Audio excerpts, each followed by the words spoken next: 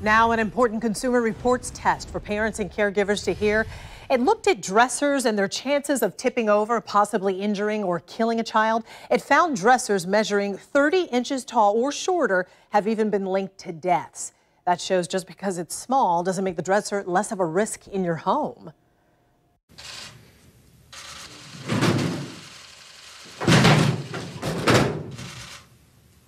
Every 17 minutes, an unsecured piece of furniture, appliance, or television tips over and injures or kills someone in the U.S. Most of the victims are children under six years old.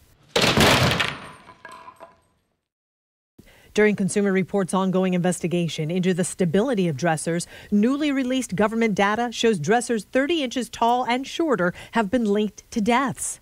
We found that just because a dresser is low and seems stable, like one that's three drawers high, it can still pose a deadly tip over risk to small children in your home. Records released in June showed that at least five fatal tip overs were linked to dressers that measured 30 inches or shorter. As part of its continued analysis, Consumer Reports conducted three tip over tests on 17 dresser models marketed as measuring 30 inches tall and shorter to see if they are prone to tipping over. Only five of the dressers passed all of Consumer Reports tests, including the $150 IKEA Nordli, showing that a stable, affordable dresser at this height is possible. Companies have the ability to do something about this epidemic. We've found that it is possible to build more stable dressers of any height.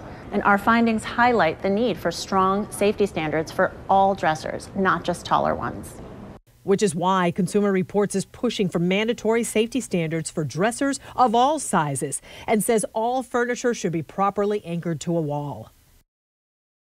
There's a really helpful video we've posted on news4jax.com that shows you how to properly mount a dresser to your wall. Also, you can read the full list of dressers that passed and those that failed. Just go to news4jax.com slash consumer.